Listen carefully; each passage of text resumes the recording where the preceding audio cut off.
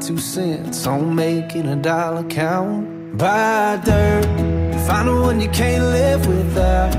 Get a ring, let your knee hit the ground. Do what you love, but call it work.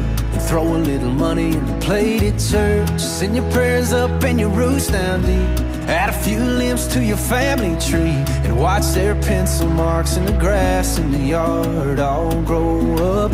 Cause the truth about it is, it all goes by real quick. This behind me, it's like a dream. It's something out of a country song. The hay is cut, it's raked, soybeans, horse barn, little red barn, our beautiful home. Stuff that Hilah and I built together in our dream. Um, and so I'm not gonna pretend to have everything figured out. Uh, I like to post videos about learning about farm and baling hay, but now my videos lately have turned about uh, into how to live life and learn to live life. Uh, it's been five weeks and three days since Hilah passed away, and I'm not going to pretend that it's even been remotely easy. I first became a Christian when I was 18 years old. Um, Hilah was instrumental in leading me to the Lord, and I'm certainly thankful for my faith during this time. And if if you watch the videos and uh, maybe my faith will hopefully be encouraging to you as I kind of be real and honest. It's also a way that I just kind of video journal, I guess, uh, about what's going on um, in my life. And I don't understand why God does it, but I have learned uh, that God's ways are higher than our ways. I'm not going to believe for a minute that God just took Hilah like he needed her or something. I believe we're in a war and the enemy took her, but God is sovereign, and I don't know exactly why it all way or works out the way it is. I've been reading about Job's life. Uh, there's a phrase that Job uh, used that's used a lot that says, "The Lord giveth and the Lord taketh away." Uh, but sovereign is His name. Uh, later, Job talks about how God's ways are higher than ours, and we just can't comprehend His our His ways. But someday, I hope to ask Him.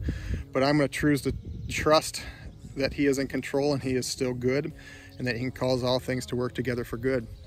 It's been incredibly hard. Uh, last night going to bed, I was reminded of this uh, song called Blessed Be Your Name. And my Christian walk in life up until this point has been free of any major trauma uh, prior to this. So it's caused really me just to question my faith and, and God and uh, dig deeper into His Word. Um, I realized that a lot of my um, beliefs in God were just kind of based on song lyrics that maybe weren't biblical and whatnot. But this song, uh, Blessed Be Your Name, goes, Blessed be your name when the sun's shining down on me, when the world's all as it should be, blessed be your name. Blessed be your name on the road marked with suffering, when there's pain in the offering, blessed be, blessed be your name. And the chorus goes, Blessed be the name of the Lord, blessed be your name Blessed be your glorious name. You give and take away, you give and take, take away. But my heart will choose to say, Blessed be uh, your name. And singing songs and going to church and reading the Bible um, prior to this um, has just been a casual thing. Now things take on a whole new meaning and significance. Um, but God is in control. I continue to pray for my family, trust that my kids are going to turn out okay. I thank my family for the support that they've given me, everybody that um, has been supportive. But um, I don't know what else to say other than I don't have it figured out. I talked to somebody who uh, has been widowed for four years. Uh, they said it just takes time, but it still hurts every day. I talked to somebody the other day who's been widowed for 50 years, remarried, has a godly husband with two kids uh, with that new husband, and um, still talked about how she misses her husband, uh, her first husband. Um, I don't have the answers, um, but I'm trying and I'm trusting God. I'm still going to recognize His blessings um, and His goodness, regardless of my circumstances. I'm reassured um, that Hilah is in heaven uh, with Jesus. I'm going to be reunited um, with her. It's going to be different, but uh, still going to be special and I miss her. I miss her, miss her. My kids do too. Um, so God bless. Um, enjoy the video of baling hay here for the rest of it and also my little rambling about God's goodness despite my difficult circumstances. Well, I didn't get the hay up in time and it's getting drenched. So over here, it's a blessing. The beans needed rain. Over here, not so much. I don't know if I'm to be able to even save or use this hay. Bummer.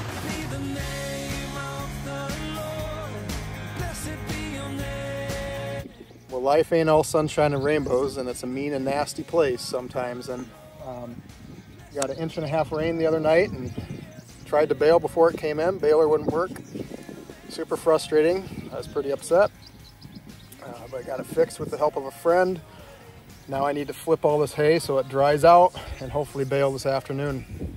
The hay is raked, and I'm thankful for that wind right there because it's drying out but then there's rain a coming here in a couple hours, so we'll see if I can get this done. Troy and Niall, need your help.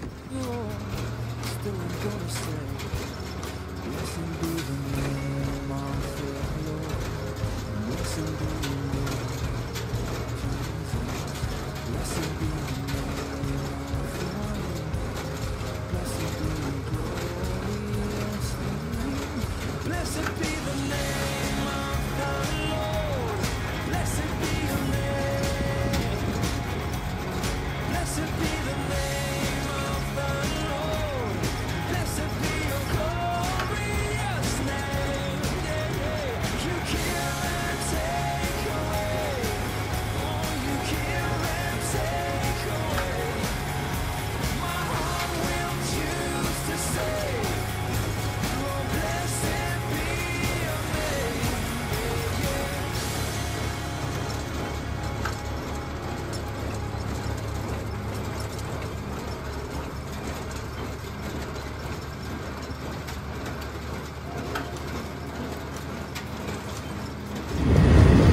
hay bales that are broken. Now we got to go around and pick them up.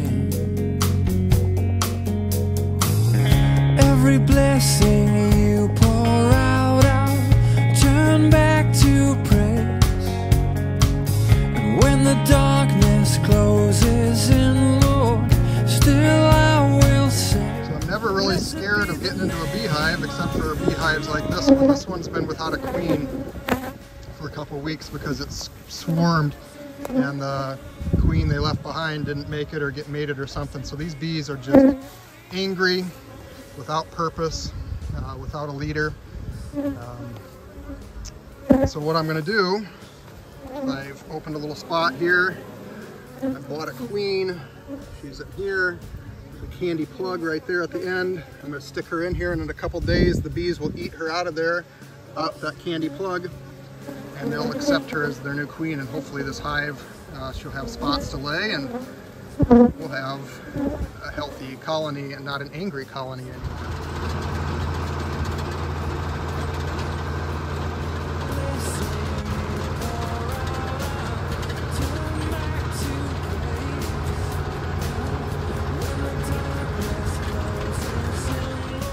Right, so that's it. That's the video. Uh, a little bit of baling hay and a lot of me rambling, but I'm gonna ramble a little bit more. So this is my baler. It's from like 1982. I just had it all rebuilt because I wanted a reliable baler. Um, got new knotters in here. And when we were baling, what you don't see from the video is how frustrated I was getting because it wouldn't bale. Um, it was like maybe tying every third bale and it was just a mess. And there's only a few people that really know how to work on these things well. And I'm lucky that uh, my neighbor is one of them and he's kind enough to help me replace this and adjust it. But um, I ended up having to switch to synthetic twine and then it was tying, tying every baler or every bale. Um, this right here is like regular twine, that's synthetic twine. And so I was just thinking with the brokenness that I'm going through that um, you know, it was frustrating and I was super upset and um, emotional when this thing wasn't working. Um, but with some thinking and working through it and some help from somebody that really knows how to work on it, I was able to get it fixed and work. And just like that, there's only certain people, or really only one, that knows how to fix a broken heart, and that's God. And so if I can get a broken old 40 year old baler working, certainly God can um, provide healing. And that's what I'm trusting um, that He does. And just like that little video that I showed of uh, the beehive uh, that didn't have a queen or king, um, didn't have purpose, it was angry, chaotic. I'm going to trust the Lord um, with all my heart, lean not on my own understanding, all my ways acknowledge Him, and He'll direct my path. Uh, it was Hilah's favorite verse, or one of her favorite verses. And so there's the video. Um, faith, family, farm, fun, friends. Uh, a lot of faith right now. Uh, God bless. Have a great day.